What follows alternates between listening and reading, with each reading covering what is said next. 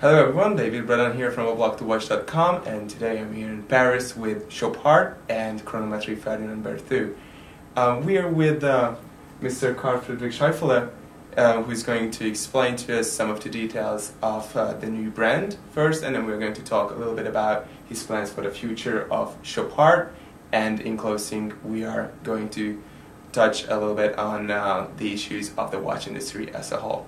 Mr. Scheufele, thank you very much for your time.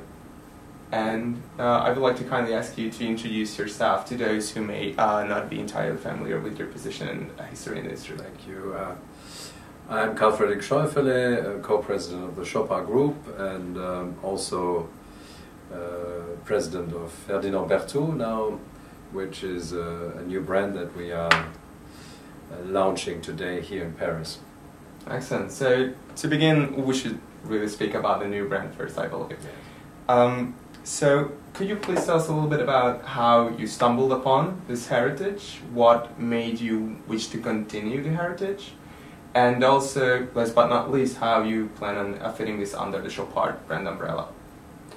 Well, basically, uh, when I arrived in uh, 20 years ago or so in Fleurier to, to set up uh, Chopard Manufacture, which is the, uh, uh, the company where we produce our, move, our own movements, particularly those for uh, the LUC collection.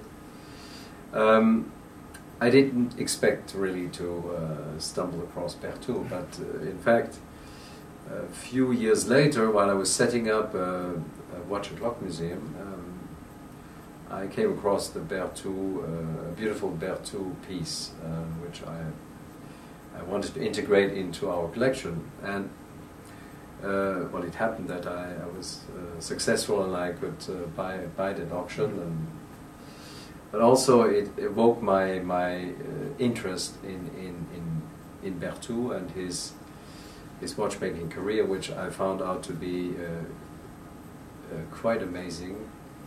In particular, there was a fact that he was born in in a place close by Fleurier um, and uh, ended up uh, at a very young age in Paris, became uh, um, master watchmaker at only 25, although he was not French. Hmm. Uh, then became watchmaker to the King of France, Louis XV, and success, subsequently Louis XVI, and even uh, um, he received the Légion d'honneur from Napoleon. Hmm. So he survived the revolution, and his most, probably his biggest achievement were, however, the, uh, the very precise um, chronometers, ship chronometers for navigation. And uh, this story really fascinated me to the point where I, I wanted to, uh, I was thinking of, uh, you know, relaunching this name. Now, I, I found out uh, doing some research that somebody had uh, owned the rights to the name, and that was in 2005. I uh, decided to contact the person, and we we we got along well, and he he was um, actually he was happy to hear that I was going to hmm. to um, possibly do something with with the name. So I we purchased the name, but then uh, it was Chopard's to, uh, 150th anniversary and uh, many other things to do and um, and I was not really sure yet how to tackle the uh, project. So three four years later, uh, I finally got around to to really uh, start thinking about uh, Berthoud, and uh, well, basically the result uh, is what you see today. Because. of course, you're co-president of Chopard, and, and it's linked to Chopard in some ways. Yes. Could you tell a little bit as, to us about how it's going to fit into the Chopard group? Well, basically, uh, you know, we there are other groups which uh, uh, own several names, several brands, and, and uh, so this, this is not really anything anything new. Mm -hmm. Of course not. Um, in our case, uh, Berthoud um, is is going to take a, a, a, a small niche. Uh, it's going to be a niche brand. It's not going to be very important production. It's going to be exclusive, rare. Uh, you will find it at uh, maybe eight or ten uh, retailers around the world. So it's it's basically um, going to be also the pyramid of uh, watchmaking art in the Chopard Group, and it's it also is a showcase to to to show what kind of know-how we, we have in our group today and um, but at the same time it, it's not a, in competition with for example the LUC collection which uh, has a quite a different uh, follows quite a different strategy. Uh, when you will discover the product you will understand uh, that the, the Berthoud, uh, the construction of a Berthoud movement is um, in no way um, has in no way a family link to uh, to other uh, Chopard movements, in particular the LUC movements. It's a world apart, and um, this is the way it, it, will fit into the uh, into the group. So it is a yeah, I understand that it is a uh, world apart. So it's going to be manufactured in some ways in the LUC um, workshops, so to speak, but with different mm. people with different components. There is a there is a, a small crew uh, of uh, presently five people who, who are working in the in the Berthoud manufacturing and also uh, sales and marketing, but um, the components uh, and research and development um, has so far been been done in house in the uh, Chopard manufacture. And as we as we develop, we will we will uh, integrate uh, some more elements into the, the Berthoud team.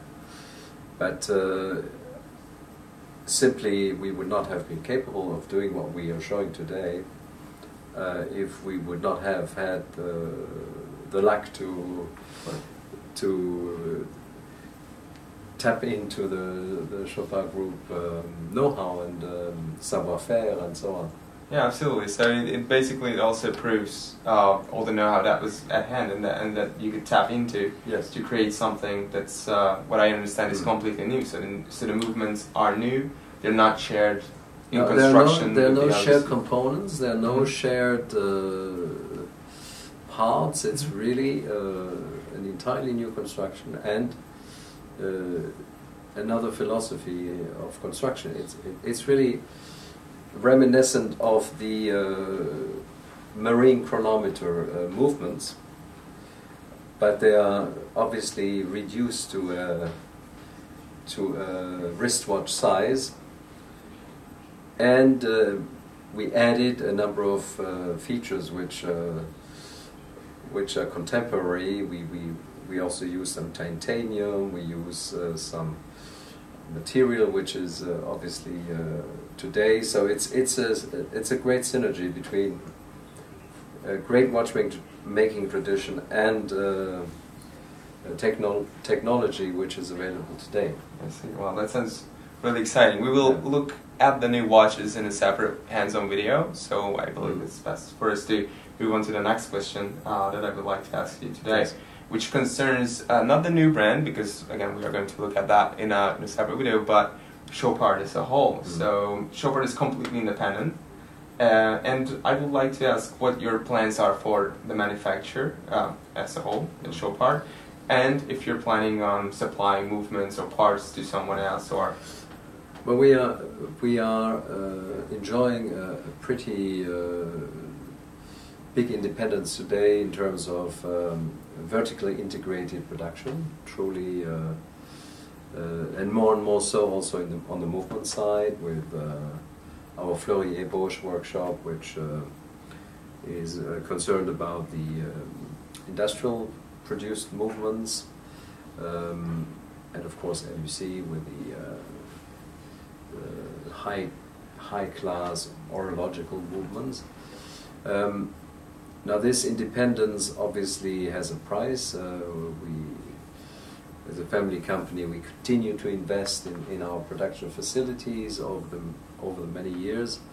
And um, today we are in the position to to have a situation where we we are large enough as a group to, to, to be well represented worldwide, to have uh, a number of our own uh, retail outlets, and so we are well positioned, I would say, uh, as a family group to in in a very competitive environment. I see. So speaking about the brands you would like, uh, or, or the plans for the future, you will you were planning on keeping it this way. I if I understand correctly. We definitely want to keep it this way. We definitely want to further uh, enhance our network in terms of distribution. We still have further further growth possibilities in, in certain areas, certain parts of the world, but also certain collections. And not to forget, we are also uh, a jeweler, and uh, in today's world. Um, branded jewelry is also a very interesting field, um, and we happen to to master both uh, both uh, components. I see. Wow, that's uh, really exciting, and we're looking forward to seeing Chopard continue as an independent manufacturer because I think that's really unique position for one to be Thank in. you. Thank you. And um, in closing, I think we should we should really just we went from Ferdinand Berthoud, which is a new brand. Mm. We then discussed Chopard a little bit, and now I would like to ask Mm. your opinion a little bit about the um, the watch industry as a whole. So, seeing the global economic situations nowadays, how do you see the foreseeable future of the industry as a whole, and what what you expect to see in the future? Well, if we want to speak in watchmaking terms, Yes. you could say 2015 is a complicated year. Um, but, but this being said, I I think the um, watchmaking uh, is a very Swiss uh, activity. Um, is probably one of the least heard activity in Switzerland due to the strength of the Swiss franc. Uh, but of course, it the fact that uh, the euro was so much devaluated and uh, the subsequent currency uh, fluctuations that we, we went through and, and, and price adjustments we had to make, I mean, this, the whole industry had to make, um, it really became uh, a complicated situation. Now, altogether, if you look at the latest figures, end of August, the uh, watch uh, exports, which are which Swiss Watch Federation publishes, are minus two percent.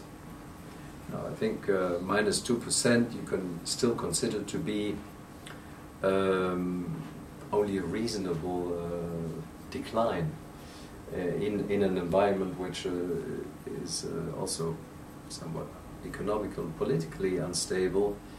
Um, I think the watch industry as a whole still has um, an interesting future, um, but in the short term, uh, in the immediate moment and shorter term, um, I, there is not much visibility as to certain markets and some important markets as well. Um, but all in all, I remain, you know, confident that uh, the Swiss watch industry will master this uh, this period, this difficult period. We have had some others before. that is true. Well, uh, I think that it's an excellent closing line right there. Thank you so much for your time, Mr. Thank you. Frederick, and uh, hope to see you again Yes. very soon. Thank you. Thank you.